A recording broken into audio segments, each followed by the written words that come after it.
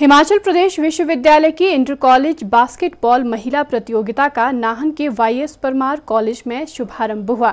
इस मौके पर हिमाचल प्रदेश विश्वविद्यालय के फ़िज़िकल एजुकेशन के निदेशक प्रोफेसर एस के शर्मा ने मुख्य अतिथि के रूप में शिरकत की। उन्होंने खिलाड़ियों को शुभकामनाएँ दी और खिलाड़ियों को खेल भावना से खेलने का संदेश दिया।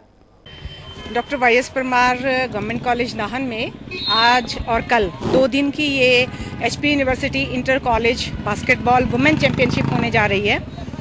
और इसमें हमारे पास लगभग 11 टीमों ने पार्टिसिपेट किया है। दो दिन तक ये प्रतियोगिता चलेगी। आज ओपनिंग सेरेमनी में हमारे पास प्रोफेसर एस के शर्मा जी, जो director physical education sports and youth programmes H P university Shimla हैं, वो इसके मुख्य अतिथि थे। और कल शाम को क्लोजिंग सेरेमनी में हमारे पास doctor Shakuntala Verma principal government college Rajgarh जो हैं, वो यहाँ पर होंगी।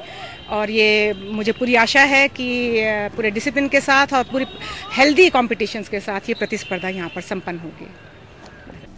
सिटी चैनल के लिए नाहन से सतीश शर्मा की रिपोर्ट।